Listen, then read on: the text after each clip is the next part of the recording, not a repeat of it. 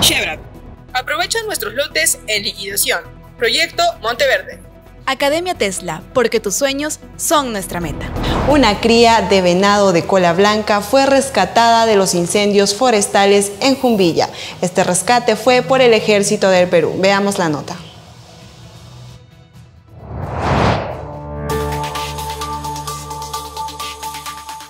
En medio de los incendios forestales que ha afectado al distrito de Jumbilla como a toda la provincia de Bongará y a la región Amazonas, una cría de venado de cola blanca de apenas dos meses de edad fue rescatada por personal del ejército del Perú.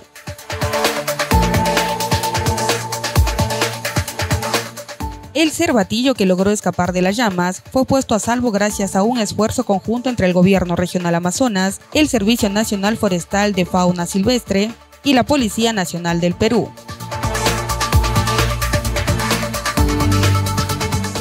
Comuneros, autoridades vienen trabajando incansablemente para controlar los incendios y preservar la fauna silvestre, seriamente amenazada por el avance del fuego en esta zona.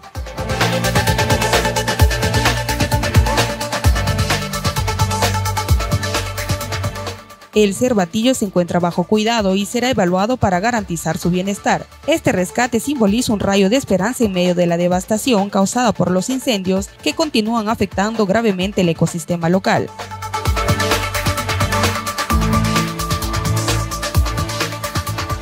El compromiso con la conservación de la fauna y la flora de la región Amazonas es prioridad de toda la población, como mantener la calma y colaborar con las autoridades en las acciones de prevención y control de los incendios.